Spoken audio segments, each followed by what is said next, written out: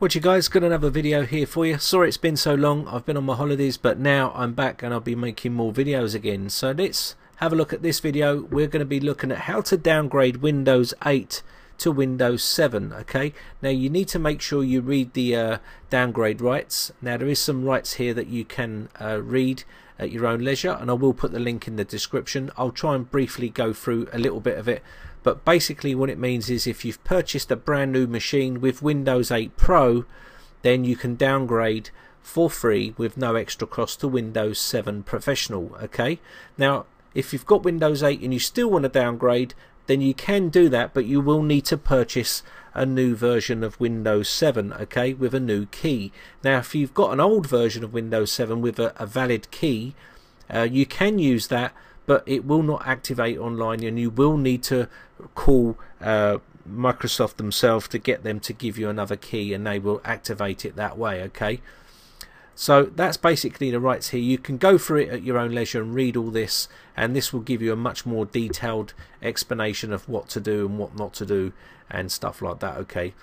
Now there is a couple of things you want to be careful of here as well is make sure that your hardware is compatible for Windows 7 and if it's not then you will need to get drivers okay.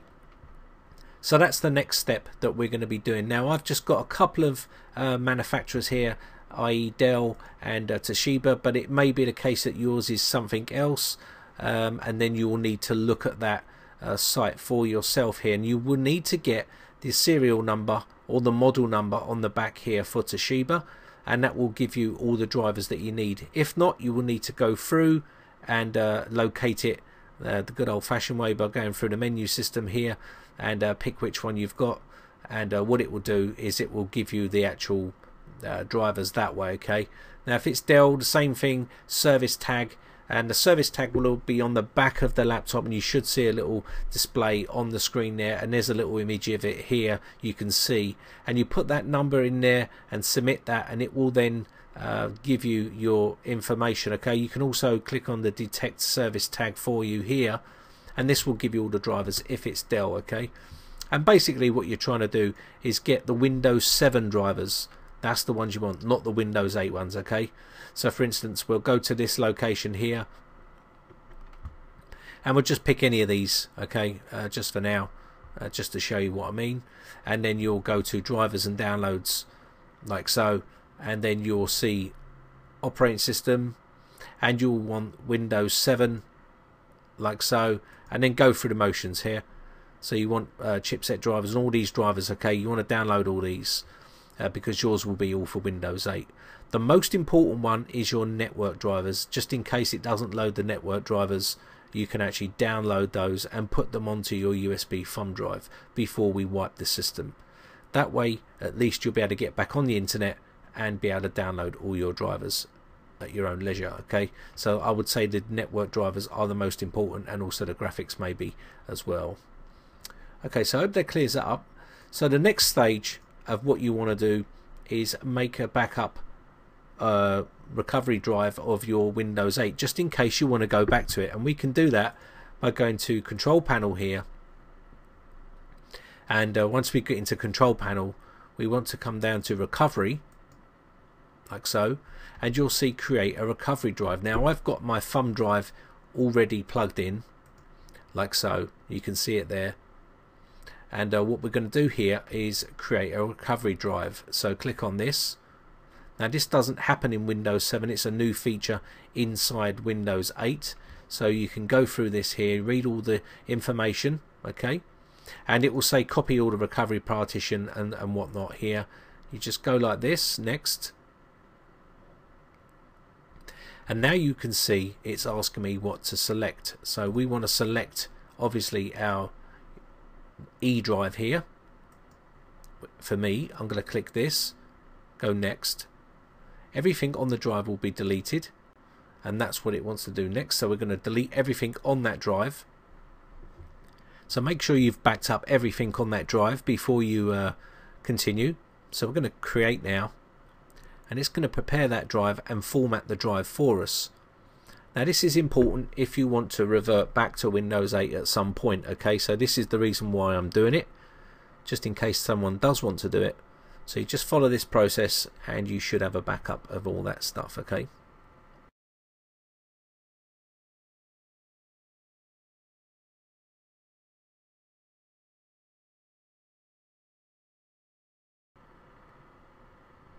Okay, so now we can click on finish here. And now what that's done is that's created our recovery drive to refresh or reset your PC, okay? And that's what we've done there. So let's have a look at what it looks like. So I'll just quickly open this up here. And we can now go inside here and you can see it set this all up for us. Okay. So now we've got that done, we can close this off uh, you can back up all your system if you wish. Uh, if that's something you want to do, make a clone of it or whatever you want to do. I'd advise you to do that if you don't want to lose anything and you just want to make sure that that's okay. You can do a clone of the drive or you can make a backup through Windows 8 or whatever you want to do before you start. I'm not going to bother doing that. Now the next step we need to do is change the uh, boot option. Now if you if you need to change the boot option from uh, UE FI boot and you need to change that to the legacy boot option. And the screen you see up there right now should explain it a little bit more. You need to boot into your BIOS and change that okay to exactly what it says on that uh, BIOS there. Now if you if you've got a slightly different BIOS or slightly different machine it may look slightly different but you do need to look for that option okay the legacy uh, boot option and and uh, change that and that will put it back so you can boot to CD otherwise you may find yourself having difficulties. Now we need to uh, boot to our Windows media uh, Windows 7 media so we can actually format this okay and put Windows 7 on. So I'm going to reboot to my uh, Windows 7 CD right now. I'm going to restart. Okay so we're going to let this load in now. This is booting to our CD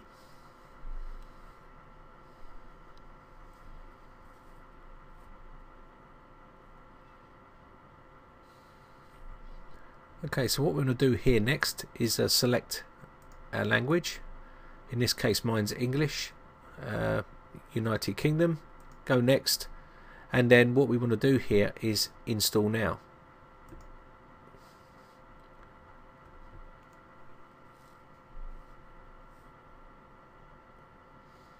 I'm going to accept, accept the agreement there, go next, and what we want to do here is go to custom and you want to select the actual drive okay?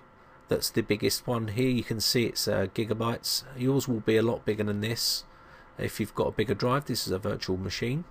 So I'm going to go next here. And then you can see it contains files from the previous Windows installation.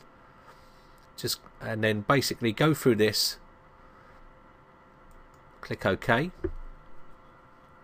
and what that's going to do is create a windows.old folder with all your data and programs and stuff inside there okay? But just in case something went wrong it's always best to back that up first just in case that goes wrong.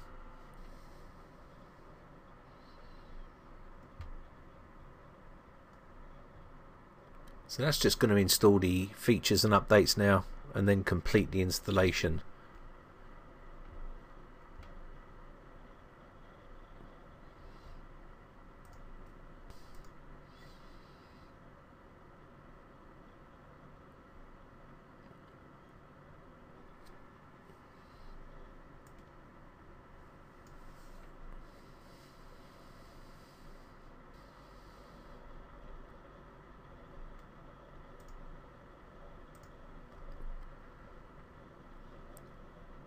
So that's going to start up the services now and uh, complete the installation.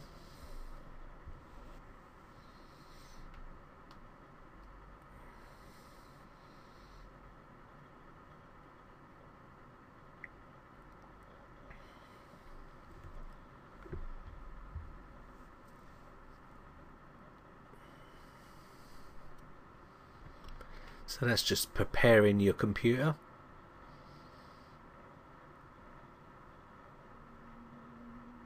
So it's at this stage where you'll need to put in your product key okay now what's going to happen here if you put your product key in and then go next it will actually activate straight away. Now if you've got a pre-activated uh, key, i.e. you've had a Windows 7 key from a previous machine and you've activated it already, then what's going to happen is it's going to want you to go online, okay?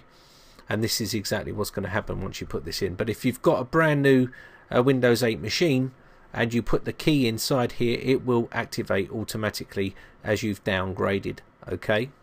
So now we've got our product key inside here. What we're going to do here is click on next and this will automatically update okay as we go in. So we're going to go next here. So just go through the motions here.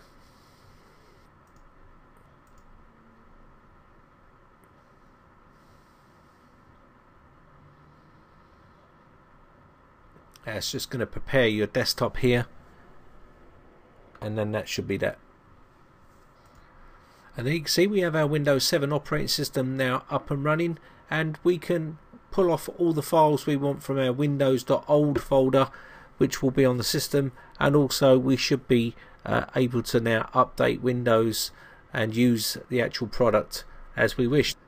So that's basically how you uh, downgrade from Windows 8 to Windows 7 and uh, as I said you can always revert back to Windows 8 if you wish but also uh, if you've got a new machine, as I said, Windows 8, uh, Windows 8 Professional machine, and it's brand new, you can downgrade for free.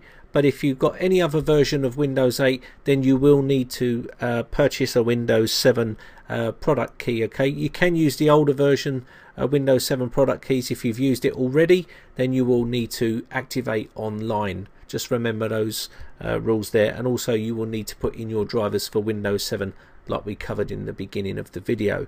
So that's basically it for this video. So I hope you enjoyed it. It's great to be back and I'll be making more useful videos again in the future. So thanks again for watching guys. Have a great weekend and I'll see you again real soon. Bye for now.